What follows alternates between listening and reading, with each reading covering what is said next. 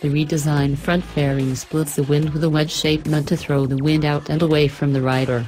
This creates a larger wind pocket than its size would suggest, though the fairings picked up 28mm of width apiece this year. LED headlights come tucked under the brow with a deeper, wider and brighter illumination area than the 2016 model. An adjustable double bubble windscreen extends the protection upwards to encompass the upper trunk and head without having to tuck all the way in.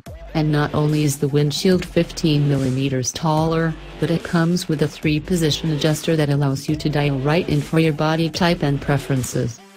A pointed entry and chin spoiler brings the 1000 more into line with the rest of the Ninja family's look for a balance between sportiness and rider comfort.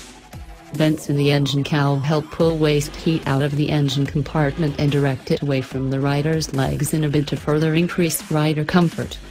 In that vein, the improvements continue at the rider's interface with a 5-position clutch lever adjustment that lets you dial in for hand size and at the saddle that comes both lower and wider to improve butt endurance.